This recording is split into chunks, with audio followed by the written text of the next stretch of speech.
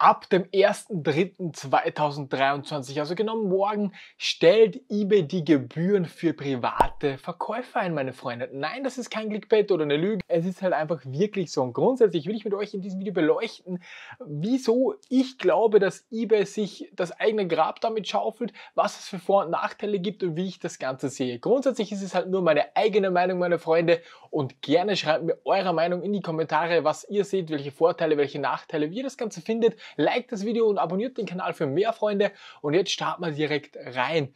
Ihr habt es gehört, für private Verkäufer heißt es ab morgen, 1.3., keine Gebühren mehr auf eBay. Also das bedeutet, sie zahlen nicht mehr die 11% und auch nicht die 35 Cent, glaube ich, waren es. Ich gesagt, habe schon lange nicht mehr privat auf eBay verkauft, sondern das war es einfach. eBay hofft sich natürlich einen riesengroßen Ansturm, um ähm, vielleicht dem Steuertransparenzgesetz irgendwie entgegenzuwirken und oder äh, eBay Kleinanzeigen auch äh, ja, etwas die Stirn bieten zu können. Und grundsätzlich wird kurzfristig definitiv auch der Fall sein, dass da ein Anstieg kommen wird. Aber langfristig, meiner Meinung nach, zerschießt sich eBay damit alles. Weil wenn man mal ein bisschen logischer darüber nachdenkt, dann ist das Steuertransparenzgesetz auf eBay eigentlich am besten anzuwenden. Fürs Finanzamt, die können auf eBay am besten kontrollieren, weil alles über die Plattform abgewickelt wird. Auch der, der, die Zahlung wird über die Plattform abgewickelt, also wirklich alles. Das meiste wird verschickt. Bei eBay ganz, ganz selten eine Abholung. Also wirklich, das ist halt einfach das Beste, um dieses Gesetz anzuwenden.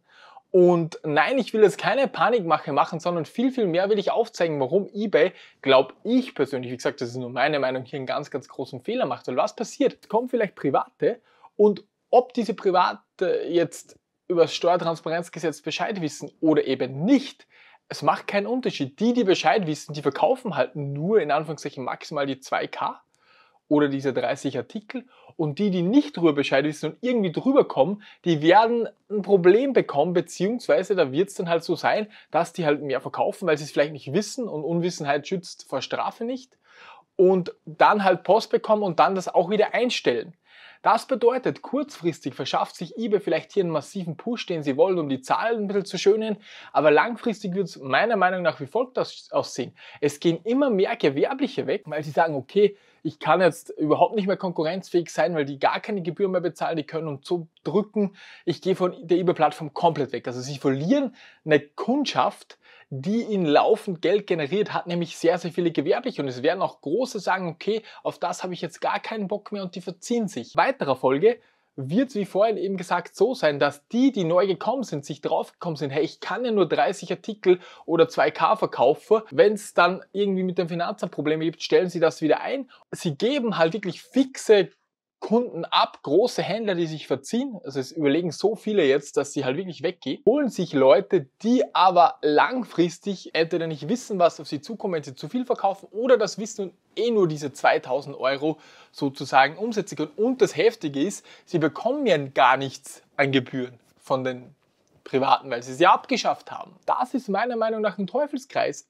Was ich, also natürlich, eBay vielleicht wird sich was dabei gedacht haben oder eben auch nicht, das weiß ich nicht, weil es ist 2001 das erste Mal, dass sowas passiert und Deutschland sind auch die Vorreiter.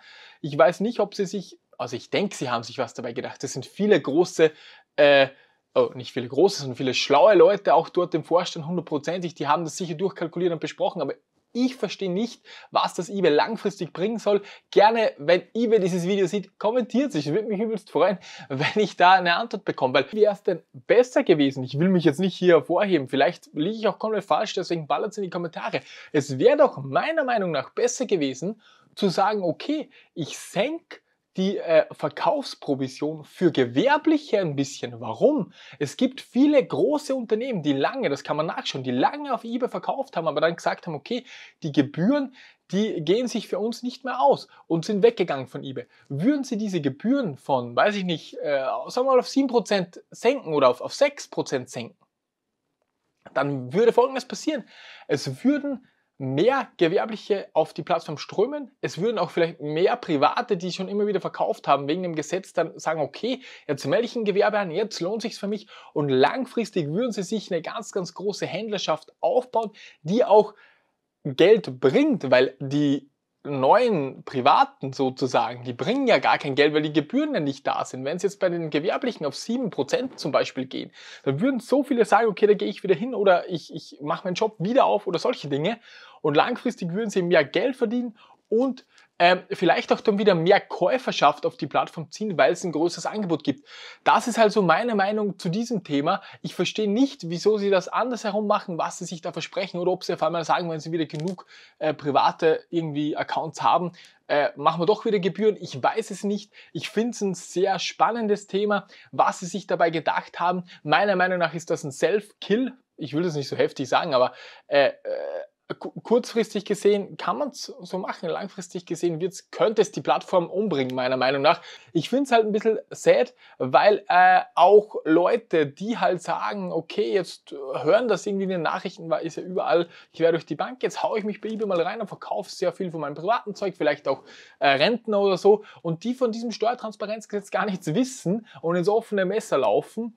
Natürlich, Unwissenheit schützt für Strafe nicht, aber das kann ja sein, dass die das gar nicht vorsätzlich machen, sondern einfach nur denken, okay, okay, cool, jetzt gibt es da keine Gebühren, ich mache mir ein bisschen Hobby, informieren sich halt nicht, ihr kennt das doch. Und dann laufen sie dem Finanzamt in die Arme und das hat auch meiner Meinung nach sehr, sehr wenig Sinn. Also es ist wirklich eine kritische Geschichte, was eBay da gerade macht. Äh, das ist halt meine Meinung, wie gesagt, nur nochmal, es ist meine Meinung zu diesem, zu diesem, äh, es ist ja kein Gesetz, zu dieser, zu dieser Änderung, ganz genau, Freunde. In diesem Sinne, gerne schreibt mir mal in die Kommentare, was sich äh, ändern wird, was ihr denkt, dass sich ändern wird. Ich denke halt, dass schon einige Private wieder zurückkommen werden. Äh, aber schlussendlich wird es vielmehr so sein, dass viele äh, Gewerbliche auch weggehen von eBay, sich andere Plattformen suchen, Webshops suchen, vielleicht äh, auch zu Amazon gehen, was weiß denn ich, und eBay dann massive Umsatzeinbrüche hinnehmen muss und schlussendlich wieder zurückrudert. Das glaube ich, wie gesagt, das ist nur meine Meinung. In diesem Sinne hoffe ich, dieses klitzekleine Video hat euch gefallen, konnte euch ein bisschen aufklären. Freunde, ab morgen geht's los für die Privaten. Keine Gebühren mehr, gar nichts mehr, Freunde. Ja, lasst mal so stehen. Wir sehen uns bis zum nächsten Video. Bleibt gesund, euer René. Ciao, ciao.